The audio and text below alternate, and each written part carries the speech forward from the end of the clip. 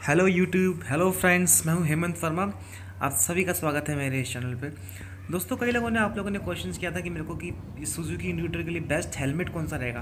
तो मैंने मार्केट में खूब सर्च किया तो मुझे एक बहुत बढ़िया हेलमेट मिला है, जो कि इसकी मैचिंग का है एकदम। देखेंगे, ये है एल का थ्री नाइन आई मॉडल है ये। देखिए बहुत ही बढ़िया मैचिंग हुई है इसकी। देखिए, इस प्रकार ये हेलमेट है। अगर आपको मैचिंग की बात करूँ तो ये देखिए, ये जो कलर है और टंकी पे जो कलर है, बिल्कुल मैच है।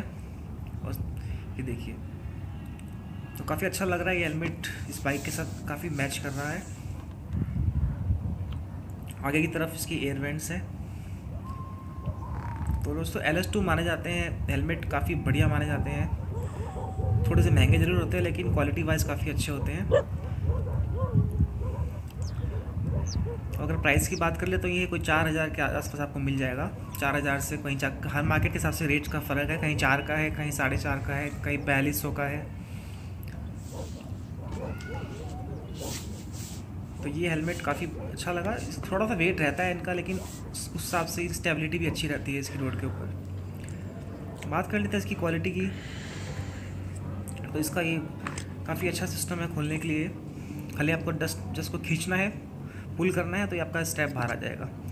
और अगर हम क्वालिटी की बात करें तो इसमें वेलवेट यूज़ किया है पूरा, ये देखिए पूरा वेलवेट है ये।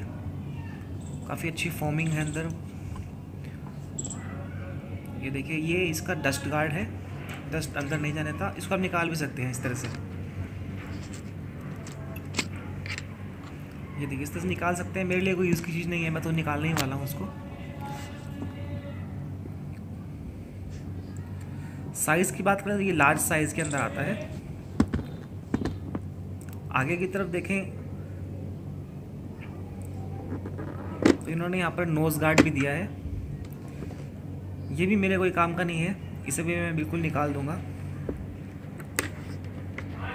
अगर किसी को हाथ रखना हो हेलमेट के अंदर इसको यू हाथ रख के चलाना हो बाइक के बाइक के अंदर तब ये बीच में आएगा, इसलिए इसको हटाना बहुत ज़रूरी है, नहीं तो ये हाथ रख, आप इसको हाथ नहीं रखते बाइक के अंदर, जगह नहीं बनती हाथ रखने के लिए।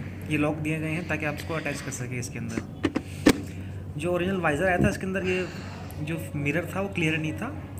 वो थोड़ा सा फोगी टाइप का मिरर था, जो कि मैंने उनको बोल करके इसमें ट्रांसपेरेंट वाला मिरर लगवाया है, ताकि ये इजी यूज़ करने में इजी रहे।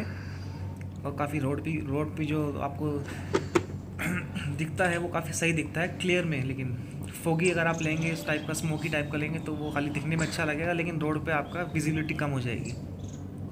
यहाँ दोस्तों इसकी एयर वेंट्स हैं, काफ़ी बड़ी एयर वेंट्स हैं। इसको आप सर्दियों में बंद रखेंगे, गर्मियों में चालू रखेंगे। ऊपर की तरफ़ भी लेफ़्ट साइड में भी और राइट साइड दोनों साइड में यहाँ पर देखिए ये भी एयर वेंट दिया है। और इसी तरह से राइट साइड में भी दिया है। पीछे की तरफ़ से ये हवा बाहर निकलती है दोनों की। दोस्तों, ये था मेरा इस हेलमेट का रिव्यू। एल एस टू का है, ये काफ़ी बढ़िया लगा। ये देखिए, इस तरह से बाइक के ऊपर भी काफ़ी अच्छा लगता है। दोस्तों, बने रहिए मेरे इस चैनल पे। मैं आपके लिए और अच्छी अच्छी वीडियो लेके आते रहूँगा। धन्यवाद, तब तक के लिए।